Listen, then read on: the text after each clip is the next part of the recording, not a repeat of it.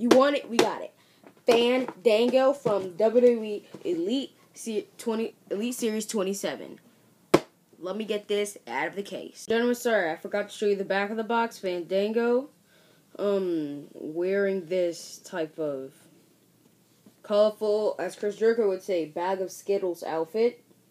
And these are the other guys in the set. And pause if you want to read. And again, let me open the box. Hands down, ladies and gentlemen, this is the best figure in the set. Okay. So as you see right here, he has this strand of hair falling right into his eyebrow. Um, this head sculpt is kinda like the basic series. Um, I forgot which one it was, but his first time in the line figure, but it is not. It is totally different. The head is way bigger. Um, he he is jacked. His arms are huge. Um, unrealistic, but I had no problem with that.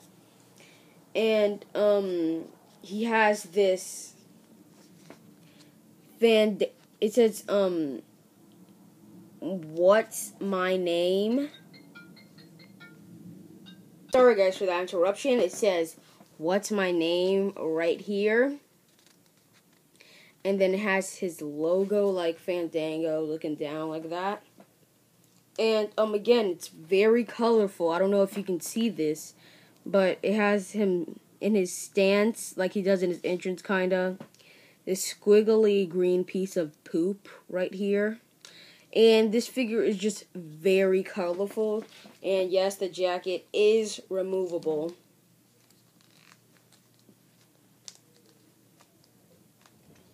And, um, unique figure. He has these bedazzled sparkles right here, right here on his pants.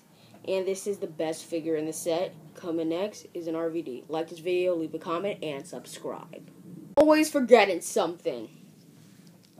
Um, he just has these average boots right here. And his wrists are taped up. I forgot to tell you that. Obviously, you've seen that, but I just want to tell you. So, like this video, leave a comment, and subscribe for more. Look how ripped this dude's body is. Like, is this a new body scan? Oh my gosh. Look at this. Da da da da da. Subscribe.